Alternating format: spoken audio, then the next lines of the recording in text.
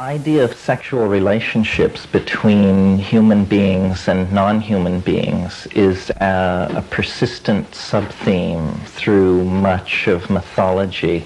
In the Old Testament, it says, "And the gods found the daughters of man fair," and the Persephone myth is a good example of this, where the Platonic Demiurgus of the underworld ensnared Persephone.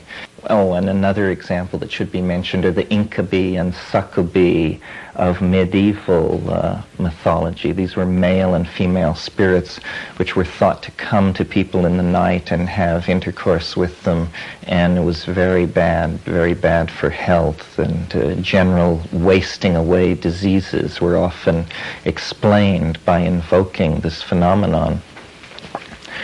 But uh, what I want to talk about is something similar but with a uniquely modern cast, which is uh, the flying saucer phenomenon has begun to take on this new character, this erotic dimension. Uh, there's no hint of this kind of thing in the early literature of flying saucers, meaning from 1947 through 1960. But now it seems to be a rising theme, and uh, I would like to talk about it because though it, uh, you know, is the darling of a screwball fringe when it's in this form, I think that it represents an interesting uh, um, developing folkway that we can learn from. So, what about it? It's only in the last uh, 60 years since the discovery of DNA and the uh, discovery of the Hertzsprung-Russell diagram so that we began to get an idea of the true size of the universe that the notion of extraterrestrial life and extraterrestrial intelligence could even be coherently framed. Before that time, man's relationships with transhuman intelligences tended to be demonic or angelic and to fall into those categories of beings which occupied hierarchical levels above and below us in the in the uh, structure of being, but all basically terrestrial or in some sense terrestrial. But science, by uh, explicating the non-uniqueness of biology and giving us an idea of what's going on in the galaxy and beyond has validated the notion that life is ubiquitous and that intelligence is a property which accompanies life and uh, is also, therefore, probably very common uh, in the universe. This legitimizes fantasy about the existence of extraterrestrial life. So that what is happening in the last half of the 20th century uh, is that the mythological outlines of what the alien must be are being cast now. The expectations of people living now who have been given the rudimentary knowledge of biology and astronomy that allows the thing to be conceived, their expectations are casting the extraterrestrial archetype into a mold that it will t- hold until uh, it is disconfirmed or confirmed by true extraterrestrial contact, whatever that means. In other words, a little knowledge is a dangerous thing. We now we now know enough to fantasize realistically about what the alien uh, would be like. And I think that this then sets up polarities in the collective psyche that previously we have only seen at the level of the individual. And this is why I called the uh, lecture Alien Love, because love is a unique expression of individualism. But what the developing archetype of the other if you will, the extraterrestrial, because for us the away from the earth is the other. What the developing archetype of the other means and our fascination with it is that collectively, for the first time, or perhaps for the first time in a long time, we are beginning to yearn. That's what it's all about. And uh, I think that what's happening in religion on a very broad scale is that the previous concerns of salvation and redemption are eh, shifting into the background for the great majority of people.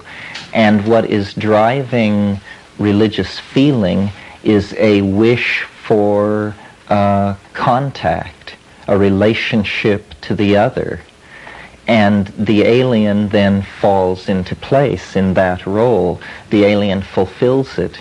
And uh, I believe that if religion survives into the long centuries of the future, this is what will be its compelling concern, an attempt to define a collective relationship with the other that assuages our yearning and our feeling of being uh, cast out, as Heidegger says, cast into matter, alone in the universe. In other words, it's as though um, by passing into the psychedelic phase, the spacefaring phase, the entire um, species is passing into adolescence and becoming aware of the possibility of something like a sexual completion with an other, with a species which is not human, an idea which had previously been masked for us in our collective prepubescence, where we were self-absorbed. The Freudians call it uh, polymorphically perverse, meaning occupied in the exploration of the ego and the body. And so this culture crisis, which I've talked about in many different ways, but never this way, has this dimension too. It has this uh, psychological, erotic drive for a, uh, a connection with the other.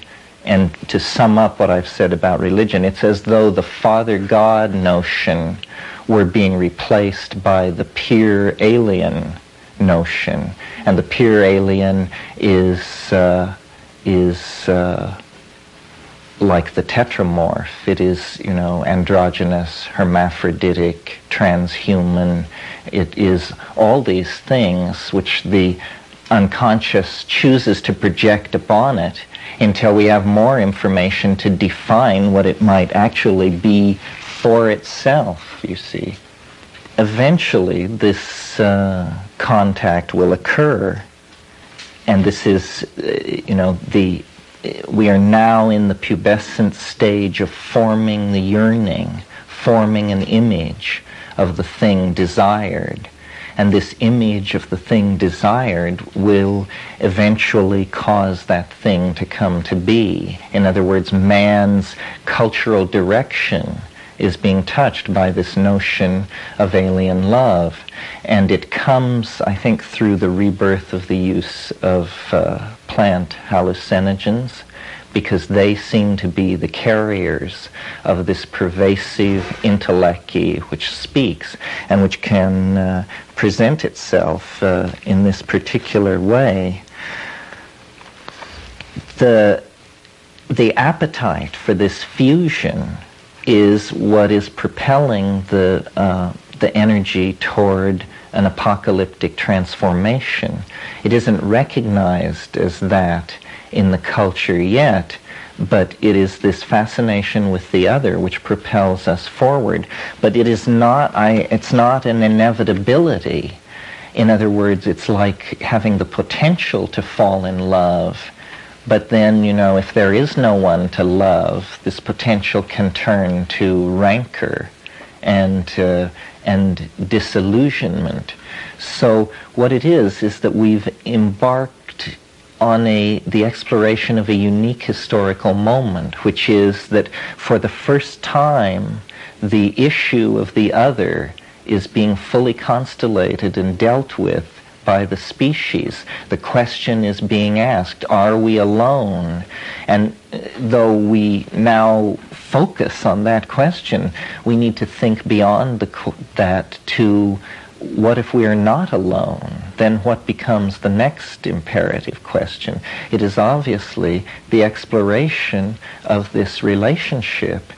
And uh, it has this erotic character because we will discover as soon as communication is even remotely possible that we are obsessed with it because it becomes very important to know whether or not we're alone. It becomes very important to open a dialogue if any dialogue uh, is possible. And I think that at this stage in what's happening, the facts are secondary to the description of what's going on. In other words, this could slip away from us. It is a potential which has swum near to the historical continuum, and if it is invoked by enough people, it will become a fact, but it could also slip away. We could harden. There are fascist, hyper-techno uh, futures that we could sail toward and realize that would eliminate this possibility of opening to the other. And uh, I'm always trying to define for myself what the historical importance of psychedelics is, because we know, of course, that shamans have used these things for millennia and have plumbed these depths uh, as individuals. But still, I always had this intuition that there was a historical impact of some sort, and I think this is it. That actually we are uh, positioned to attempt something which has never been attempted before, which is to open a dialogue as a collectivity with the other, and to use that uh, uh, synergy to bootstrap ourselves to some kind of new cultural level. And I think in the uh, in the blurb which preceded this talk in the folio, I mentioned uh, that uh, this potential was hidden now in the psyche there isn't a great deal of talk about it. It only arises at this totally screwball folkloric level. None of the managerial or analytical elements in the society are looking at this at the moment. But I think it is uh, forming and crystallizing. And uh, I think that the peculiar animate quality of psilocybin that I've discussed in other talks is probably a major synergy for this.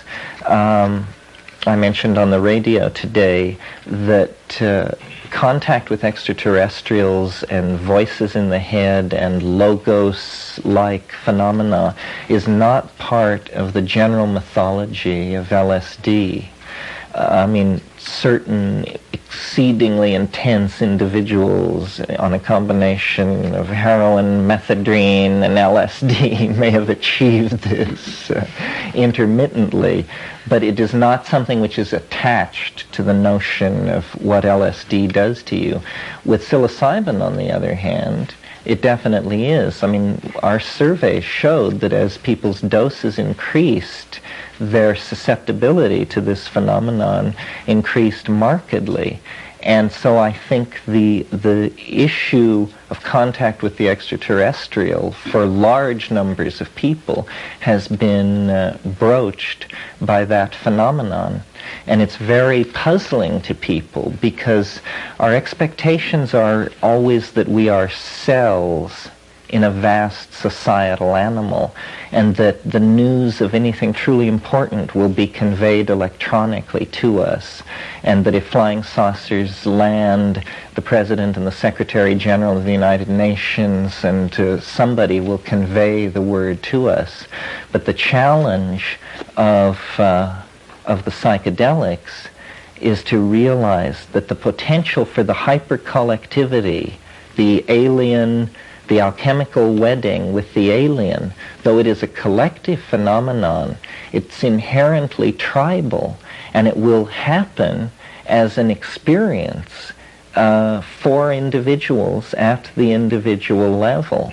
And this is what's happening. People are uh, in the confines of their own apartments, becoming Magellans of the interior world, and reaching out to this alien thing and beginning to map it and bring back stories that uh, you know, can only be compared to the kind of stories that the chroniclers of the New World brought back to Spain at the close of the 14th, of the 15th century.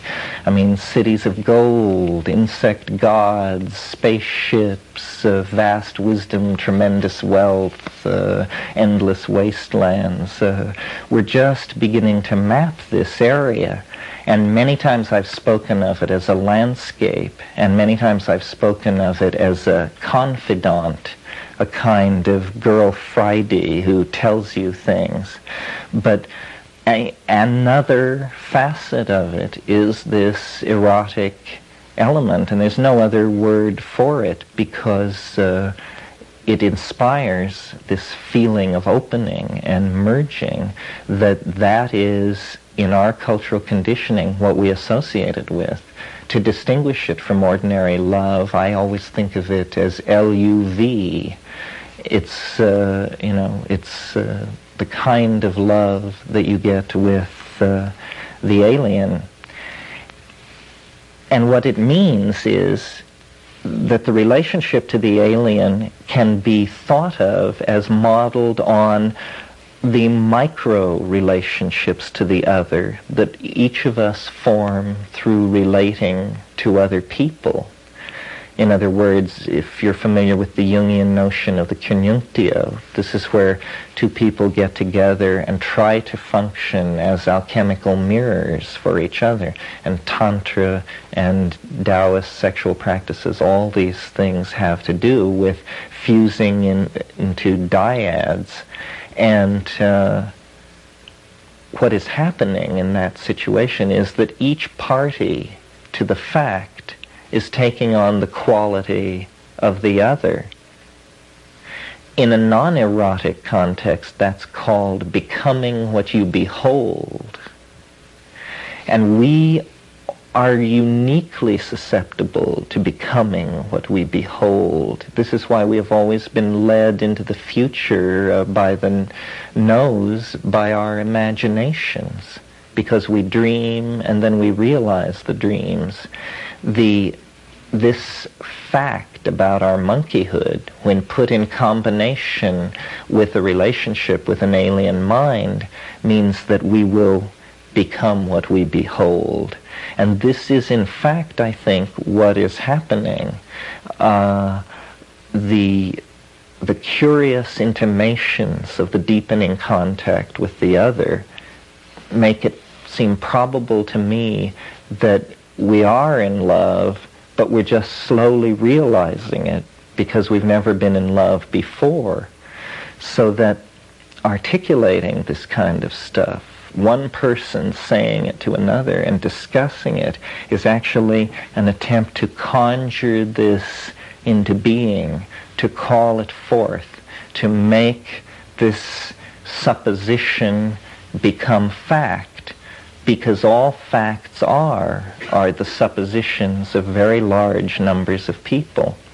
And um, this archetype now hangs in the balance there is much tension about the flying saucer aside from the erotic uh, connotation because the flying saucer represents a tremendous challenge to science perhaps the ultimate challenge to it. It may be as confounding to science as the resurrection of Christ was to Greek empiricism and Roman imperialism. In other words, the flying saucer is definitely an agent of cultural change. On the level of the machine, it, uh, it bids distress for our most cherished explanatory schema But on the level of the alien as flesh, it presents a much more basic and fundamental challenge because the erotic complex is being redefined by this phenomenon. I was talking to someone and we came up with the idea that uh, we were talking about how many people take LSD and how it's very difficult to get precise numbers on this matter because people don't talk about it. But that uh, in the last 15 years, sexual researchers have had a field day because people are very, very willing to discuss their bizarre sexual peculiarities and to just pour out their hearts to people with clipboards. And we know now a great deal about human sexuality. And uh, we were suggesting that uh, the taboo is moving. The taboo is moving so that as we become more sexually polymorphic and open with each other and less uh, identifying our ego with our sexuality, we become very private and constrained and secretive and religious and all these things about our psychic experiences. Uh, the the drug experiences particularly and he was suggesting this to me as an explanation for why it is so hard to get people to describe their drug experiences, why the literature is so barren of any richness of description when the experience is, uh, you know, the culmination of richness and intricacy and beauty. And uh, though I don't take this idea as gospel, I think it's very interesting. We are much more open with each other sexually, and in our process of examining our libidinal consciences in the confines of our own minds. But the taboo now has moved to this interior world where the where we have this uh, this adolescent sensitivity about this developing relationship to the other. Now, th- all these things are elements which are going together to make the emerging human future, and it is a human future that is uh, proceeding exponentially it is not a mere linear propagation of the present because these peculiar factors are impinging on it. Things like psychedelic drugs, the ability to erect large structures in deep space, the presence of the alien logos uh, in the mind of the collectivity, the presence of the cybernetic network that is developing. All these things are going toward a release of man into his imagination. And so far, the cultural engineers have not stressed enough that the erotic element be included in the engineering of the human future. Um, Erich Jantsch, was a good friend of mine, and many of you may know his books, he and I used to argue about space colonies and whether this was a viable way to go. And he sensed this problem by saying to me, but Terence, where will they get nature spirits? How will they indu- induce nature spirits to inhabit the space colonies? Well, another way of saying it, a way that brings it much more close to home, is how can Eros be invoked in space and carried with us and expanded. I tried to do my part to help this process along by spreading the rumor that uh, the Soviet lady cosmonauts sustained five 40-minute orgasms in weightlessness and that they were sitting on this information because they didn't want to panic but uh, maybe it's true. I'll say it's true. It's true. When the monkeys find out what sex in zero gravity is like, uh, I won't have to make hard pitches like this one.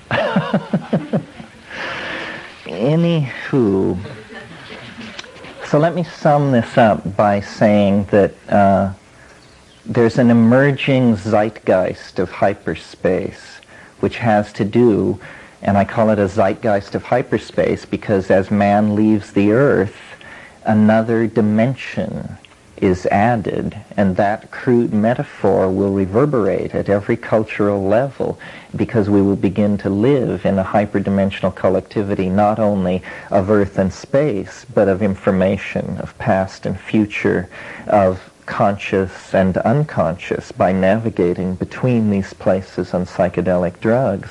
And eventually the technological culmination of this is the projection of human consciousness into whatever form it seeks to take. And the zeitgeist of hyperspace, which is emerging, which is heavily freighted with technology and cybernetics and all these things, requires that it be consciously tuned to an erotic ideal.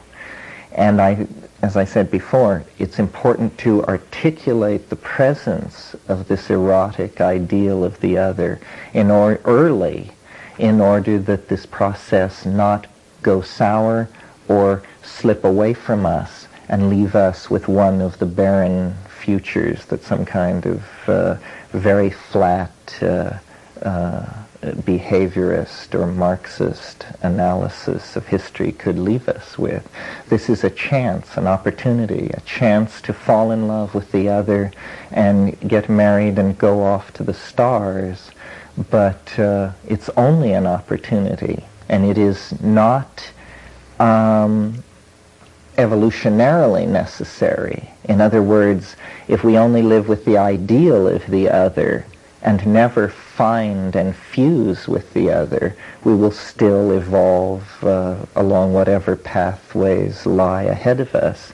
But if the opportunity is seized, if we take seriously the experience of the last 10 millennia and complete the modern program of realizing the ideals of the archaic recognizing that what the 20th century really is about is an effort to establish and perfect the ideals of late Paleolithic shamanism, then we will have integrity in relating to this opportunity and uh, we will have a very peculiar historical adventure which I, uh, I cheer for Thank you very much.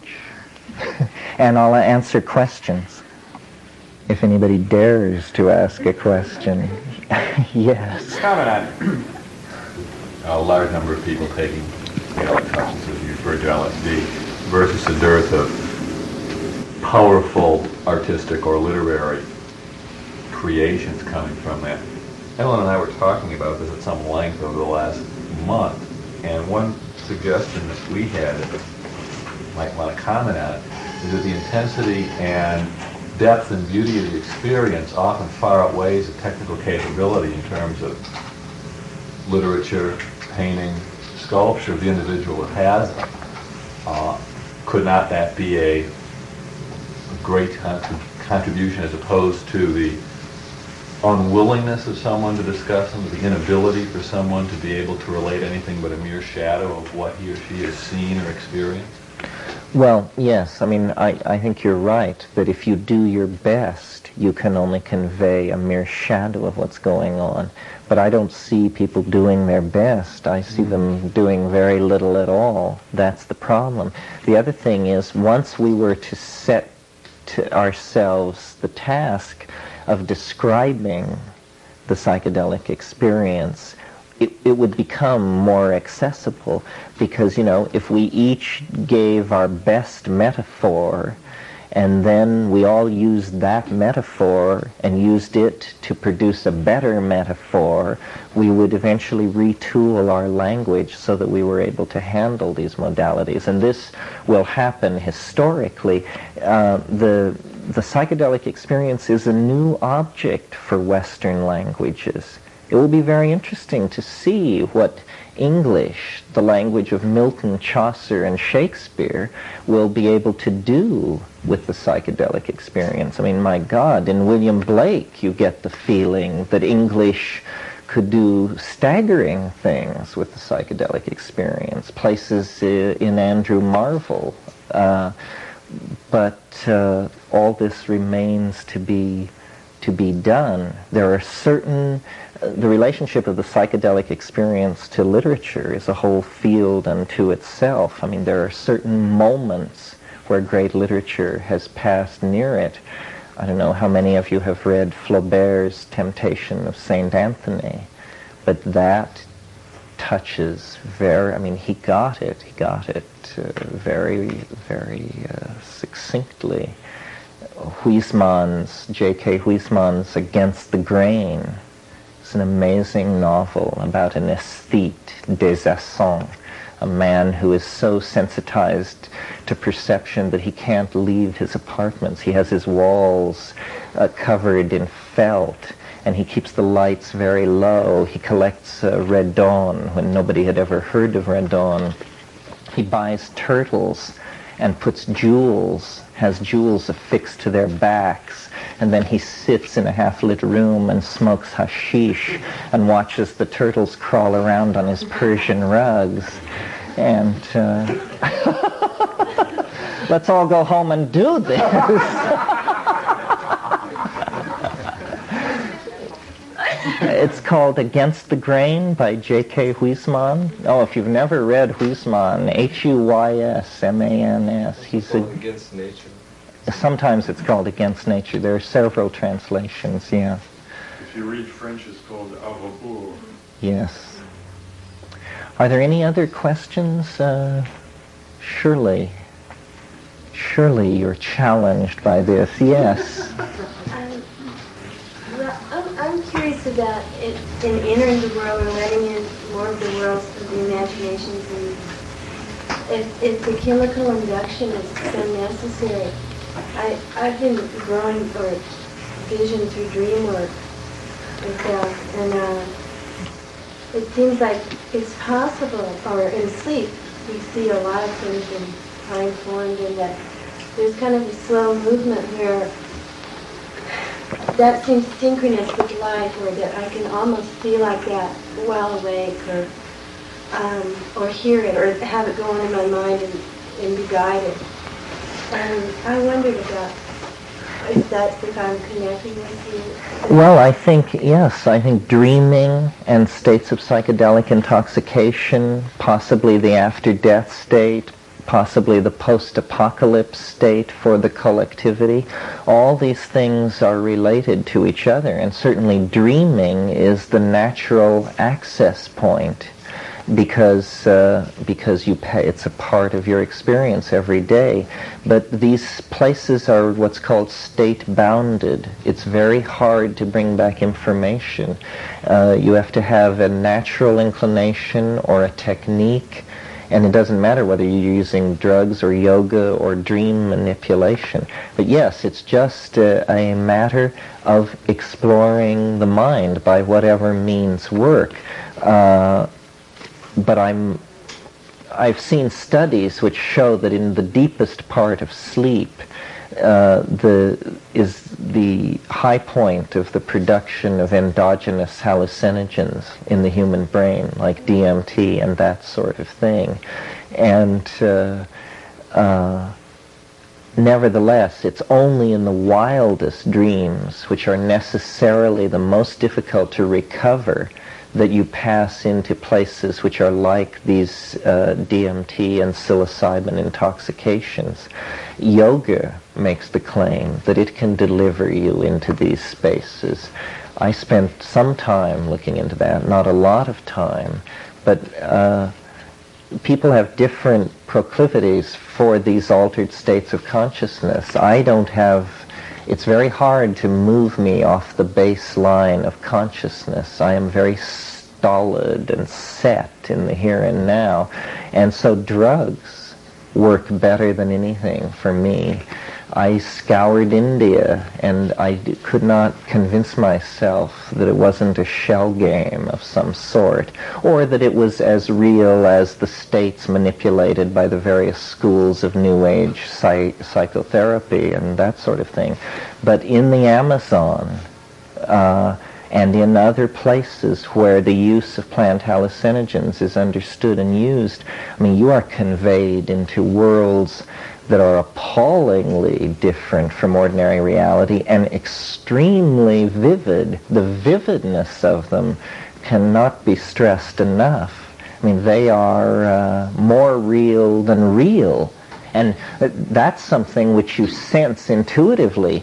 They establish an ontological priority. They are more real than real. And once you get that under your belt and let it rattle around in your mind, then the compasses of your life begin to spin. And you realize that, uh, you know, you're not looking in on it, it's looking in on you.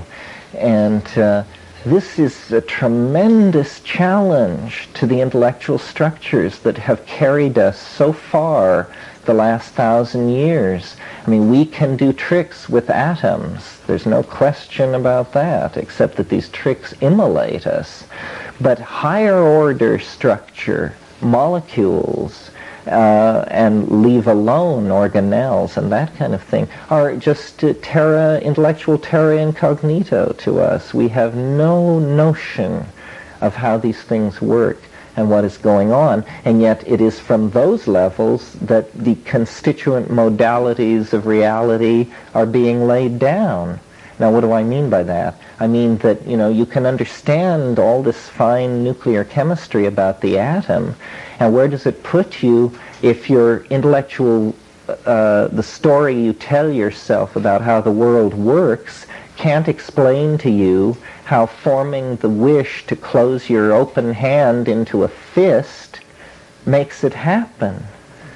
And this is the true status of present science. They cannot offer so much as a clue how that happens. They know how muscles contract and ATP, ADP, all that they know. It's the initial, the initiating phenomenon. What is it that decides I will close my my hand and it happens?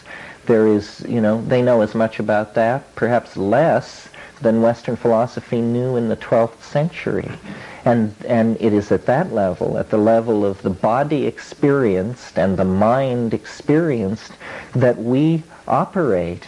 I mean, you can live in the, in the social and religious system of Hellenistic Greece and offer sacrifice to Demeter, or you can live in 20th century America and watch the evening news. But you should have no faith that you're getting the true story on reality. These are just historical contexts that uh, can only be transcended by the acquisition of uh, gnosis, of knowledge that is experienced as true. And it's hard for people to even realize what I might be talking about because they believe that something like logical consistency or ability to be reduced to mathematical formalism is how you judge the efficacy of an idea. But actually, this is what has led us into this extremely alienated state. It's that we haven't demanded that the stories we tell ourselves about how the world works confirm our direct experience of how it works. And the psychedelic drugs, by focusing attention on the mind-body-brain interaction, are reframing these questions and not a moment too soon because the cybernetic and technical uh, capabilities of the society demand that this all be looked at very clearly or we're just going to sail right off the moral edge of uh, things into the abyss. Well, that wanders from the alien love theme. But as I said, all these factors are going to make up uh, uh the, the uh, adumbration of the present that will become and be the future. Yeah, Ellen. Could you comment further on the interaction between the various sexual yogas and the psychedelic experience or intoxication as tools, I mean, as, as in effect, potential tools for approaching the kind of extraterrestrial eroticism you're talking about? Well, certainly, I mean, you have all kinds of things going on. Uh, when people are having sexual intercourse, the physiological state is very uh, hyped up. There's production of pheromones, all this sort of thing. Uh, how far into this can one go? It's interesting. Well, this far. one thing I've noticed on psilocybin is that uh, skin contact, uh, there is like a, uh, a, a uh, disappearance of the normal resistance across a membrane, especially if, if there is perspiration, so that two people with large amounts of skin in contact, when both people are loaded on psilocybin, the flow of ions or, you know, the electrophoretic transfer of salts or whatever the proper incantation is, uh, you become one, one thing. And, and I'm convinced enough of this that I would suggest to Masters and Johnson or whoever has license to do these kind of things that this be tried, that if you're serious about validating telepathy, here is a very simple experiment, and I think that you'd be amazed. Taoist sexual practices lay a lot of stress on uh, the generation of unusual substances in the genitals or in the perspiration, or which is a theme absent from uh, from uh, Indian yoga, but a, a, theme picked up in Amazonian shamanism, where there is a, a, lot of stuff about magical forms of perspiration, magical objects uh, that are generated out of the body or put into the body of other people. It's interesting. It's not clear to what degree the uh, in the matter of Taoist uh, alchemy, it appears that there was an erotic control language, so that much of what appears to be um, prescriptions for sexual practices are actually recipes for plant uh, combinations because words which were used with sexual connotations were also code words for plants and fungi. The association in the Taoist mind between fungi and feminine genitalia and all this stuff, it's just, it all runs together. The words and the concepts are the same, and this is a prevailing uh, motif of the so-called esoteric schools of Chinese eroticism, meaning the schools where nothing actually appears to be going on, but the presence of certain plants and certain objects in a composition indicate that it actually is a, a, a an erotic cryptogram of some sort. Yeah. Uh, could it be seen perhaps that the uh, natural psychedelics that exist on the planet are kind of of love offering from the other to, to us, which which we when we accept them as it were, we uh, can develop that bond. Uh, in other words, something which is being sought by the other. Yes, well, I uh, that. in the, at this conference in Washington, I spoke about extraterrestrial contact and the relationship to the psilocybe mushrooms. I've mentioned before that uh, psilocin which is what psilocybin quickly becomes as it enters your metabolism, is um, psilocin is 4-hydroxy-N-N-dimethyltryptamine. It is the only 4-substituted indole to occur in all of organic nature. Now let this rattle around in your mind for a moment. It is the only 4-substituted indole known to exist on Earth and it happens to be this psychedelic drug which occurs in about 81 species of fungi, most of which are native to the New World. What I was suggesting to that group of people was that its uniqueness is a chemical signature saying, you know, I am artificial, I have come from outside.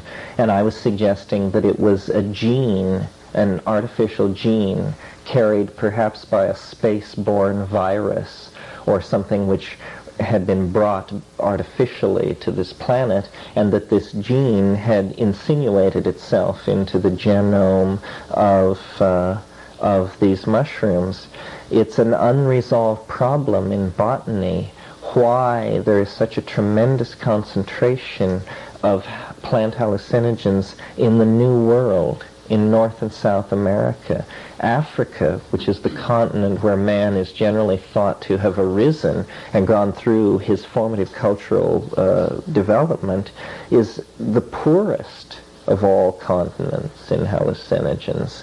Uh, the New World is very, very rich, and this is why shamanism is so uh, narcotic, as it's called. Hallucinogenic shamanism is so highly developed in the New World.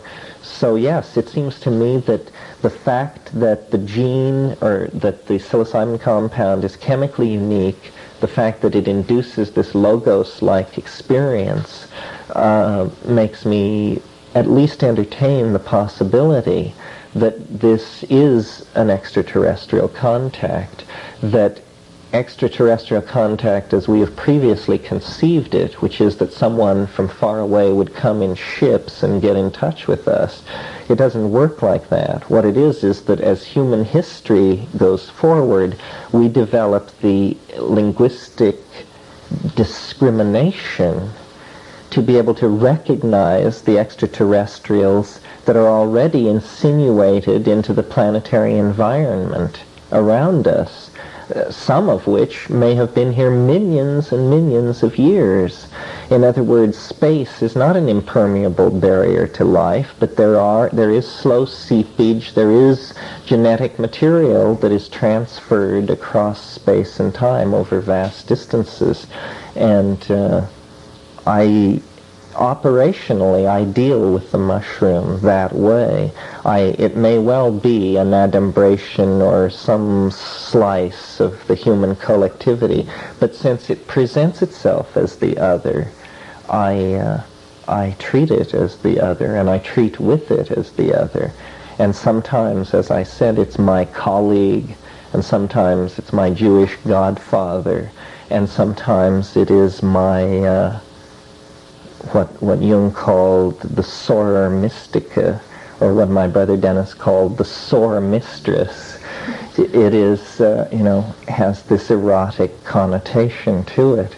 But this is uh, all part of the picture, and it all has to do with changing our preconceptions of things so that an idea such as that a mushroom could be an intelligent extraterrestrial, which is preposterous by one point of view, can be seen to, be, to move from possible to highly probable by simply shifting your language around. And the evidence has been left untouched. The evidence is equally friendly to either point of view because the evidence is so personal science is totally impersonal. The empirical evidence that the mushroom is an extraterrestrial is zilch. Uh, but the, uh, the uh, subjective experience of those who have formed a relationship with it is uh, overwhelmingly slanted in the other direction. And this is, you know, here we have then ideas in competition, the evolution of points of view through time.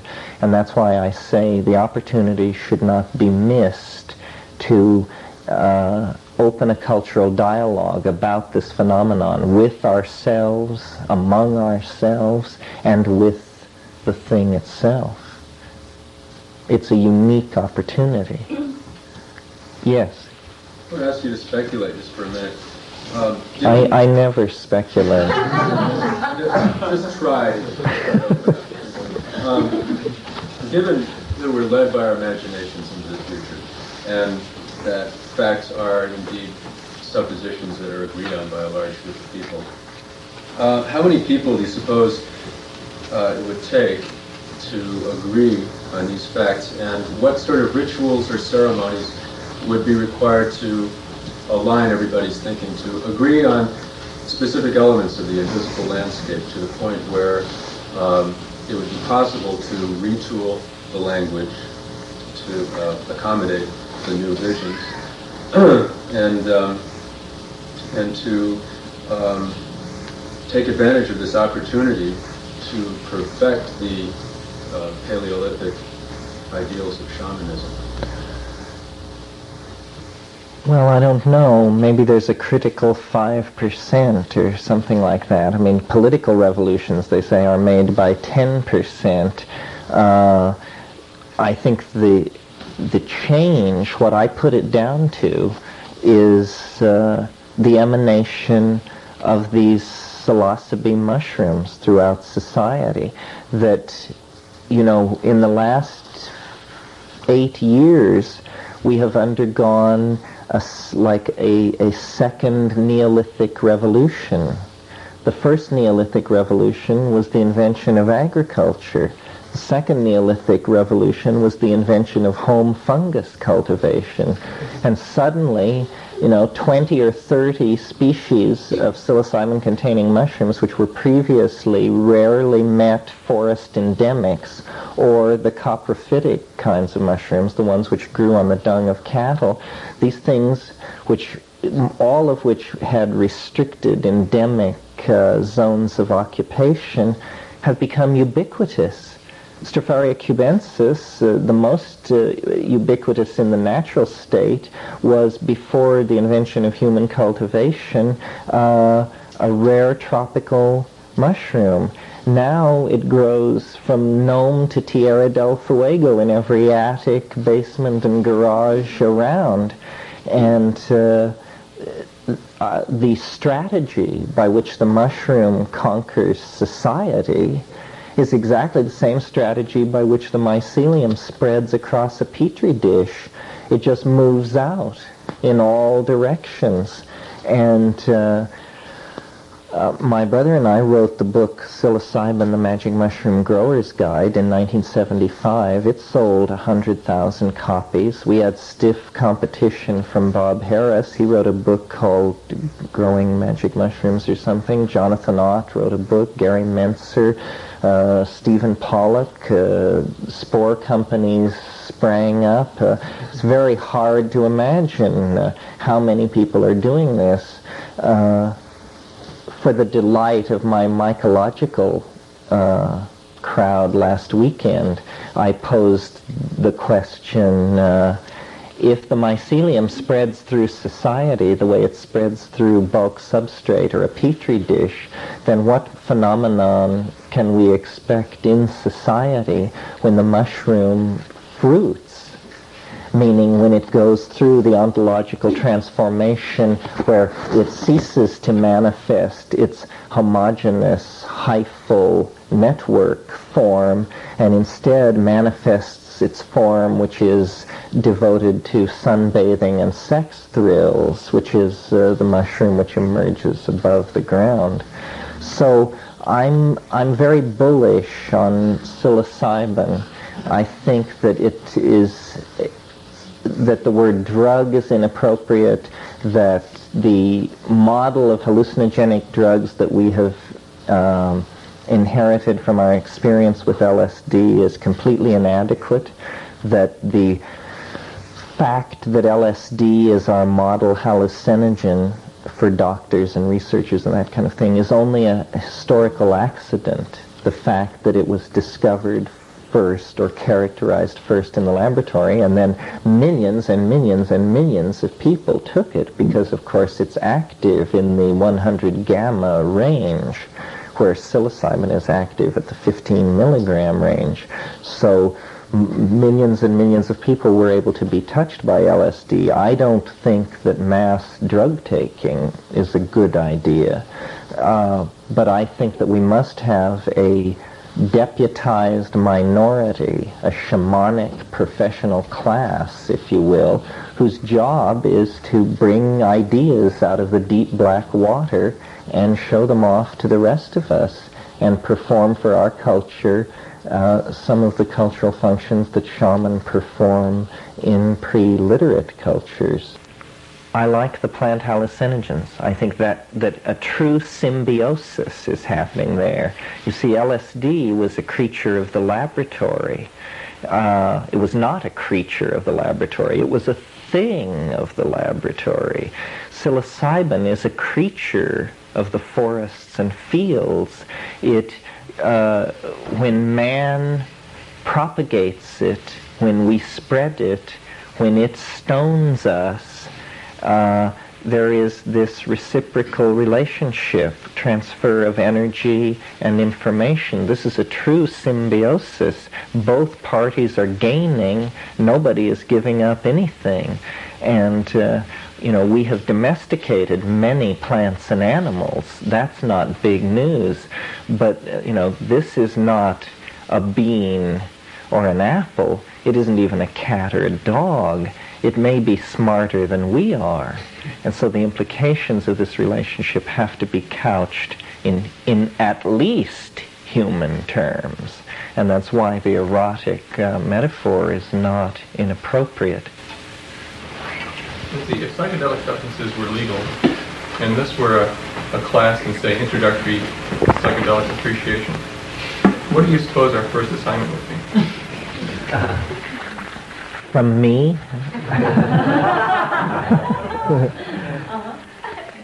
well, I guess I would have you uh, plant some seeds and read some history. And when you had read the history and grown the seeds, and I don't know what they would be, they would be morning glories or the spores of mushrooms or something. Uh, when you had assimilated the history and cared for the plant and brought it to its fullest self-expression of fruitful production of alkaloids, why then you would be at the threshold of uh, your career and I would adjourn the class. but but not to be facetious or to follow up that point. History is very important to doing well in the psychedelic experience, at least psilocybin, because it shows you movies of history. It sees us as historical creatures. It has this above everything kind of point of view where it isn't dealing with you in the slice of the moment. It's dealing with the phenomenon of the monkeys over the last millennium. And that's how it sees us. And you can assimilate some of its viewpoint by having a real feeling for, you know, the ancestors, all the people who are dead, the people who went before. I mean, it's really a strange, long, what a long, strange trip it's been, you know. I mean, from from the cave paintings at Altamira to the doorway of the starship, and uh, now we stand on that threshold, hand in hand with this strange new partner, not expected. In the nature of historical change comes the unexpected, and this is what we have on our hands. The problem of the other, the need for the other, the presence of the other, the nature of the other. These are the questions and the concerns that will drive the next uh, uh, order of human becoming. You don't preclude at all the possibility that this, the yearning for the other is just really the yearning for the self, that the other really is an undisclosed self, that, that the, the erotic urge is to unite.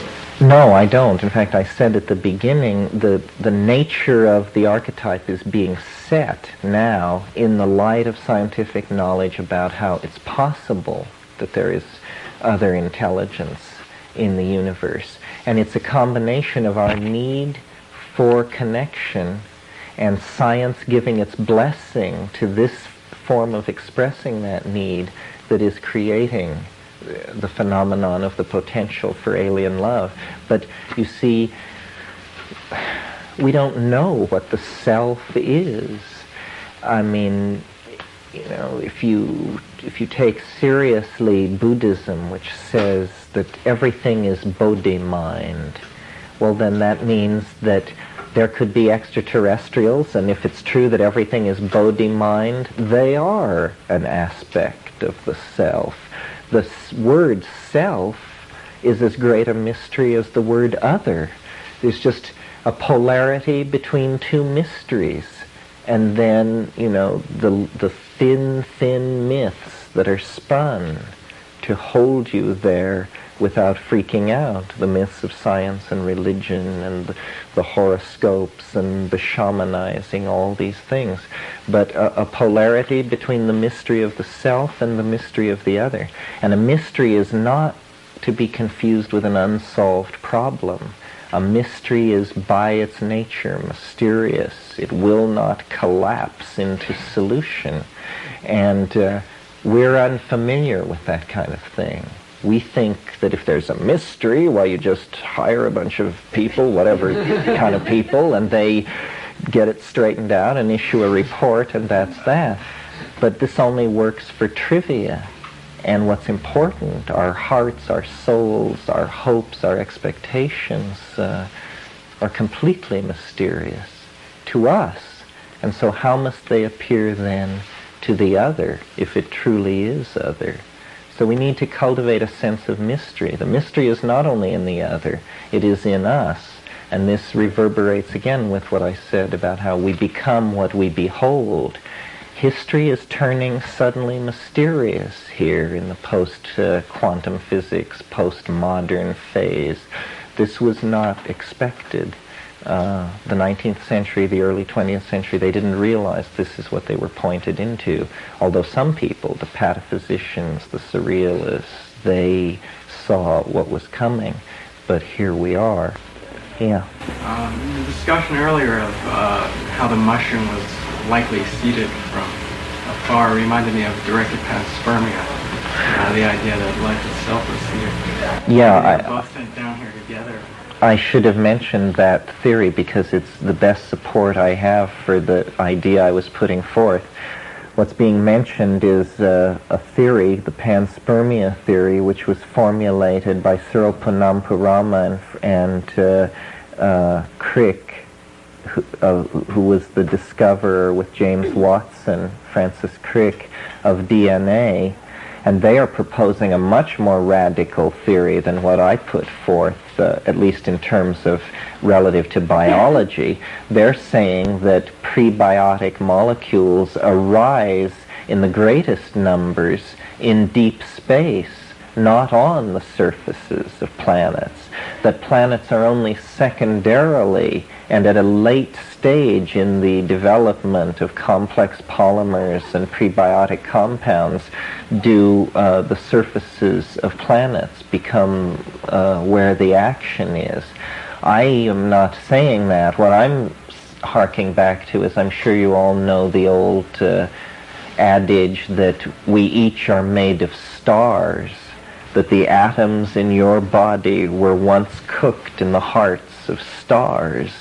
This is true, but it, a, a unremarked uh, uh, accompanying necessity of that fact would be that there must therefore be some atoms in your body which were not cooked in the hearts of stars, but which were part of the planets which circled around those stars uh, before they exploded.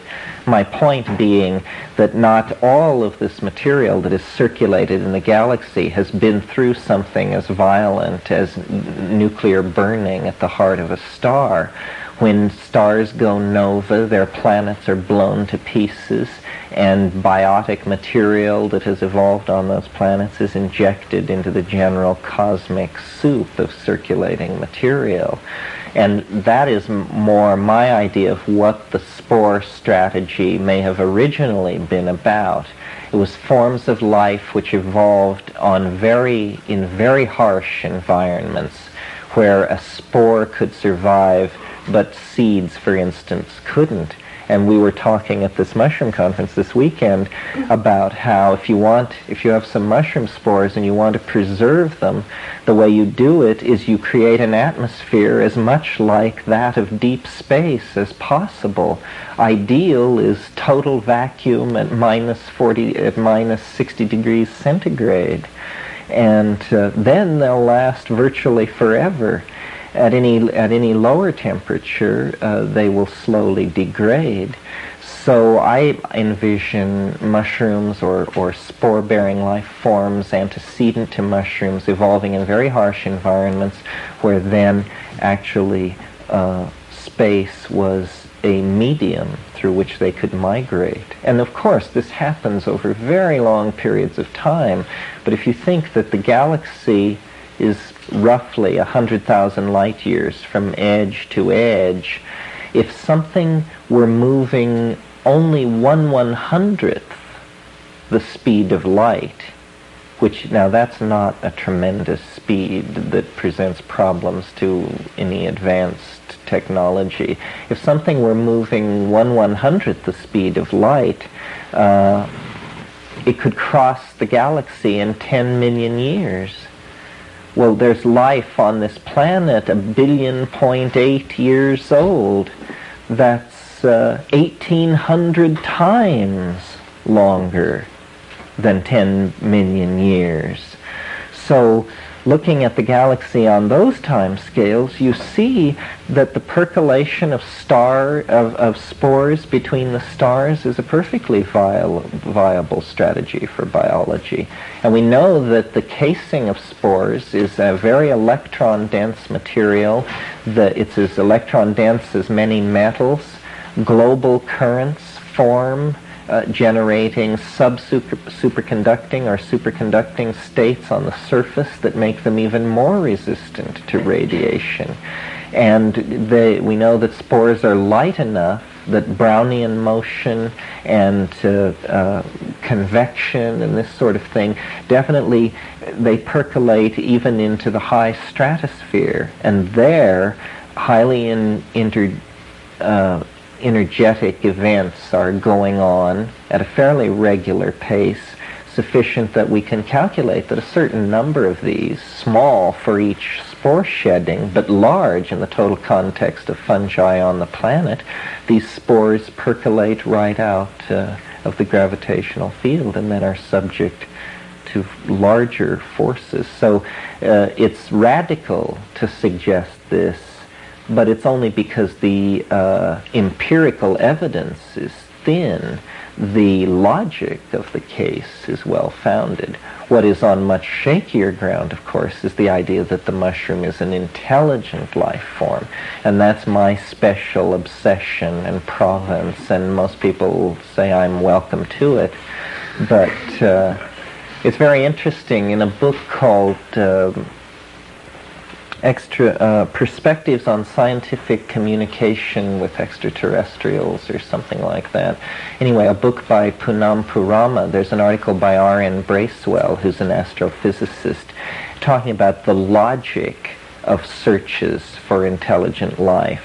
And he concludes that no matter what kind of life form you are, no matter what kind of technology you have, if you are seriously going to search space by physically sending probes from one star to another, then the only strategy which would work would be what's called a von Neumann machine, meaning a machine which can reproduce itself, so that the machine leaves its parent star and then it or, or four of these machines are sent out in four opposed directions from a parent star at a certain distance from the parent star, each machine replicates. Then you have eight machines.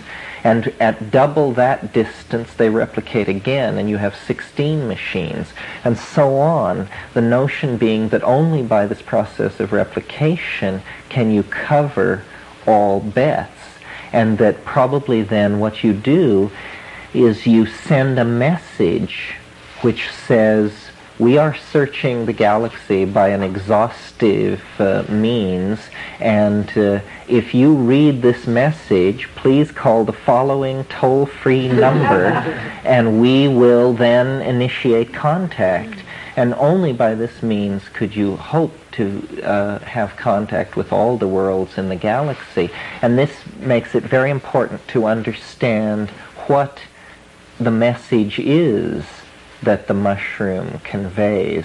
The Mandaeans, who were an obscure religious cult of uh, Gnostics in the Middle East of very long survivability, have this very interesting idea. They believe that at the end of time, what they call the secret Adam will come to Earth.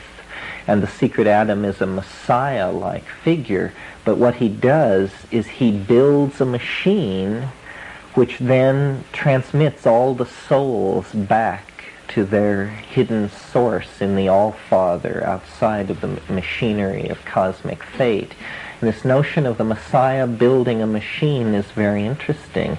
It's conceivable that if there is an extraterrestrial message in our environment, it is a message to build some kind of device so that a less tenuous form of communication can be opened up. Uh, and Bracewell makes this case. To him, this is just inherent in the logic of the situation. And I suppose it would be an interesting branch of logic, the logic and the protocols of extraterrestrial contact. What can we define about contact that is so basic that whatever form of life and intelligence you were, you would have to flow along those creodes. Uh, this is probably an undeveloped field at this point, but it certainly uh, could be done.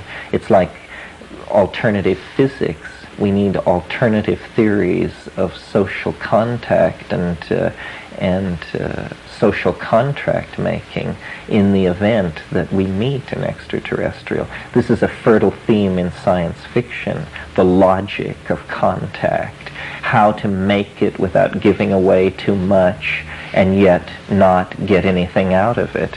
It's poker, but the stakes are very high. We're talking about the survivability, viability, and evolutionary fates of species, if not entire planets. Yeah, you, talked about the collapse of the distinction between inner and outer space. Right. And what would, how would you to go into that more? Well, I, it, the the distinction of inner and outer space is is rooted in association of the self with the body, and I think as the self moves out into the ocean of electronic uh, consciousness. And also as we explore the erotic dimensions with the other that I've indicated tonight, uh, this identification between self and body will become secondary in a way that identification between king and self has become rather secondary over the last 5,000 years. I mean, we don't even have a king seem to, we seem to manage without one. It's conceivable we could manage without a body as well. These are just ways that loyalty is transferred toward uh, forms of cultural uh, concrescence validated by local languages. Anything else? Yes. Um, it seems that, that you talk as if um, humanity's on like a threshold of a new age, and that um, maybe through contact, the aliens will help us like cross this threshold. Maybe you might want to elaborate more. Well, I definitely think we're on that that uh, there is a process that has been long underway that has been gaining momentum since its very beginning. Uh, it's the process which formed the planet, which called life out of the ocean, which called higher animals out of lower animals, uh, which called uh, humanity out of the primates, and which called history out of tribal, sacral, timeless existence. And what it is leading toward is some kind of uh, apocalyptic, transformative flowing together of everything that is beyond our language system. It's the umbilicus of being. It's where it's all tied together, and therefore it's very hard to describe it. I think that all of our science and our religion and our history, these are uh, patterns thrown across a limited set of dimensions by the hyperdimensional fact of a certain object at the end of history toward which we are moving, to which we are being drawn. I think that most things about man are mysterious and that what is happening to us is mysterious. The sudden explosive development of the neocortex is entirely out of context with what we know about the rates of evolution that go on in other species and previously went on in the primates. Now it's been very fashionable in the past, you know, I don't know, 50 years or something, to uh, think that it's all very humdrum somehow. And yet, this is just everybody, every ideological system that has been granted the status of uh, being the official view of reality has always proclaimed that it had everything nailed down but the last 5% and their best people were working on that. But I think that we are, for all that we know, we know practically nothing. And that though I am not in any sense of the, well, not in any sense, but in most senses I am not religious. I think that religious thinking about the transformation of the world is more on the right track than the notion that the laws of physics will always be what they are, the laws of biology will always be what they are, and we're all just going to go along and things are going to get worse and worse or better and better, but that there are no surprises. I think that we do not see what's going on. One of the reasons I like to make this argument about the mushroom and the extraterrestrial and all that is just to show people that maybe this isn't true, but look how you can see things differently. If things can be seen that differently, how many ways can they be seen differently? And to try and get people to realize, to s- stop waiting for the president to enlighten you. In other words, stop waiting for uh, history and the stream of historical events to make it clear to you. You have to take seriously the notion that understanding the universe is your responsibility because the only understanding of the universe that will be useful to you is your understanding. It doesn't do you any good to know that somewhere in some computer there are tensor equations which perfectly model or perfectly don't model something that's going on. And we have all tended to give away ourselves to official ideologies and to say, well, I may not understand, but someone understands. But the fact of the matter is only your own understanding is any good to you. I mean, because it's you that you're going to live with and it's you that you're going to die with.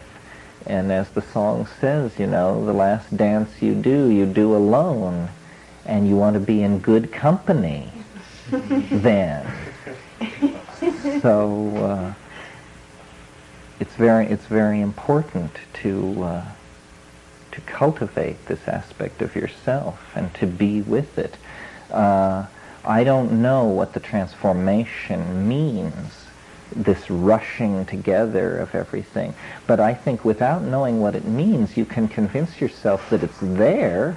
It's just nobody has chronicled it or no official agency has pointed out that things are developing faster and faster. Things are growing together faster and faster. Connections are being formed faster and faster. The evolution of language, technology, understanding of the self, these things are just spinning into a tizzy and uh, it will not go away. It will go through. It will break through to something else. And we may have to shed the present human guiding image. We may have to shed the monkey body. We have to be open, very open. What is happening on this planet, if you stand off by a nearby star and look at it, is there is information loose on this planet a swarm, a gene swarm of replicating information which has become so complexified that it now generates swarms of epigenetic information, meaning books, architectures, mythologies, uh, all of these things. And information is liberating itself.